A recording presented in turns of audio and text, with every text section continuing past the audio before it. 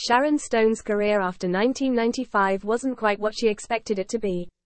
The actress, 66, has opened up about her lack of big acting roles in Hollywood after her award-winning appearance in Martin Scorsese's film, Casino in 1995.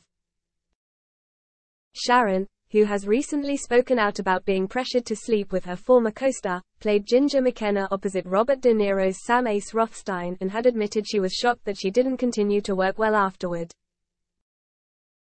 During an interview with The Guardian, Sharon gushed over her amazing experience working with Robert on the crime thriller. She loved how she was playing big characters and was standing beside her male co-stars rather than behind them.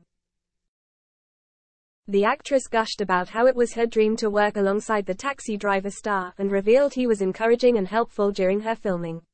Despite having a pleasant experience on set, the same can't necessarily be said for when filming concluded. Sharon claimed she hasn't worked on any substantial films since Casino, saying, I was shocked that I didn't get to continue to work well, I did everything to be my very best. Since then, Sharon has swapped being in front of the camera to being in front of a canvas, explaining that she can spend up to 17 hours a day behind her easel, working on paintings. While she didn't find much success in acting, the same can be said for painting as the star's current exhibition in Berlin has been racking her in around $40,000, $31,520.40 per painting. However, Sharon made a point to say she has not turned her back on acting completely. I'm not saying that. Working as an actress, I absolutely loved it.